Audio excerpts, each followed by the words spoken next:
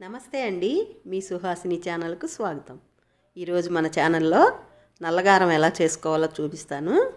ఇది చాలా టేస్టీగా ఉంటుందండి. ఒక్కసారి చేసి పెట్టుకున్నామంటే నెల రోజుల వరకు నిలవ ఉంటుంది. ఇది ఇడ్లీ దోశల్లోకి బాగుంటుంది. వేడివేడి అన్నంలోకి వేసుకొని తిన్నా బాగుంటుంది. మనం ఎగ్ దోశలు వేసుకుంటాం కదా దానిపైన కూడా ఈ కారపొడిని స్ప్రింకిల్ చేసుకుంటే చాలా చాలా బాగుంటుంది. ఇది చేసుకోవడం చాలా సింపుల్ అండి. తయారీ విధానం చూద్దాం. స్టవ్ మీద కడాయి పెట్టుకుని ఒక కప్పు ధనియాలు వేసుకోవాలి.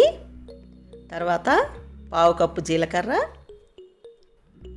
ఒక టీ స్పూన్ ఆయిల్ కూడా వేసుకుని స్టవ్ సిమ్లో పెట్టి వీటిని దోరగా వేయించుకోవాలి. మనకి అప్పుడప్పుడు క్లైమేట్ మారినప్పుడు జలుబు దగ్గులు వస్తుంటాయి కదండి.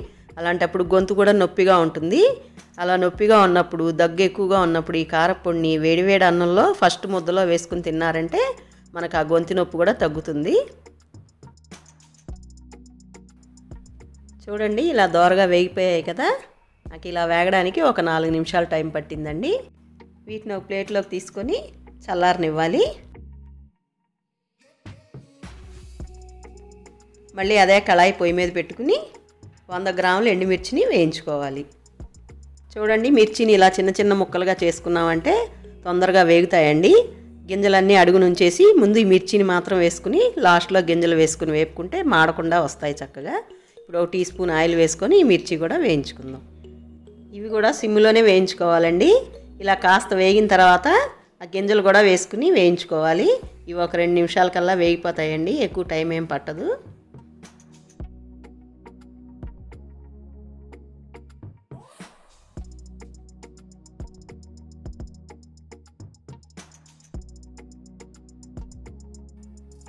చూడండి ఇలా దోరగా వేయించుకుంటే సరిపోతుంది. స్టవ్ ఆఫ్ చేసుకొని వీటిని కూడా బాగా చల్లారనివ్వాలి. అన్నీ చల్లారిపోయాయండి. ఇప్పుడు మిక్సీ జార్ తీసుకుని ముందుగా ఎండిమిరపకాయలు వేసుకుని ఒకసారి మిక్సీ చేసుకోవాలి.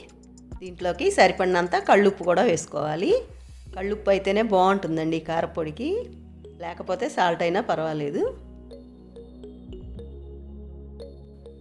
చూడండి ఎండుమిరపకాయలు ఇలా కాస్త నలిగిన తర్వాత ధనియాలు జీలకర్ర వేయించి పెట్టుకున్నాం కదా అవి కూడా వేసుకొని మళ్ళీ ఒకసారి మిక్సీ పట్టుకోవాలి.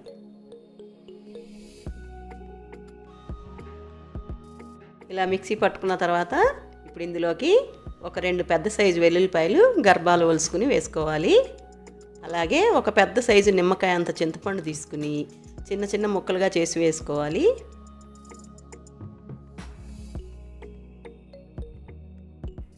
ఇప్పుడు ఇదంతా కూడా మళ్ళీ మిక్సీ పట్టుకోవాలండి. ఒకేసారి వేసేయకుండా ఆపి వేస్తూ ఆపి వేస్తూ ఉంటే మనకి పొడి బాగా వస్తుంది. మరీ మెత్తగా అవ్వకూడదు ఈ కారపొడి. చూడండి ఇలా మిక్సీ పట్టుకుంటే సరిపోతుందండి. మరీ మెత్తగా అవ్వకూడదు ఇలా బరకగా ఉండాలి. అందుకనే మిక్సీ ఆపి వేస్తూ ఉంటే ఇలా వస్తుంది మనకి. ఒకేసారి వేసామంటే ముద్దలాగా అయిపోతుందండి. చింతపండు వెల్లుల్లిపాయలు వేసాం కదా అందుకని ఆపి ఆపి వేసుకుంటే మనకి ఇలా చక్కగా వస్తుంది కారపొడి. ఇప్పుడు ఇదంతా ఓ ప్లేట్లోకి తీసుకొని చల్లారాక ఒక గాజు సీసాలో కానీ స్టీల్ డబ్బాలో కానీ స్టోర్ చేసుకుంటే మనకి నెల రోజుల వరకు ఫ్రిడ్జ్లో కూడా పెట్టనవసరం లేదండి. బయటే పెట్టుకోవచ్చు. బాగానే ఉంటుంది.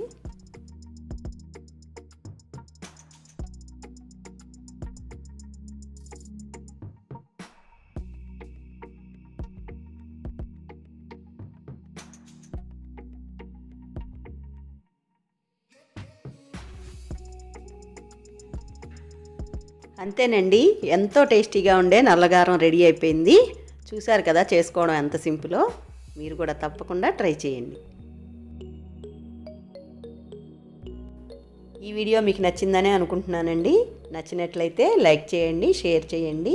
అలాగే సబ్స్క్రైబ్ చేసుకుని పక్కనే ఉన్న గంటను కొట్టారంటే మేము పెట్టే వీడియోస్ మీకు వస్తాయి. మరో వీడియోతో మళ్ళీ కలుద్దాం. నమస్తే.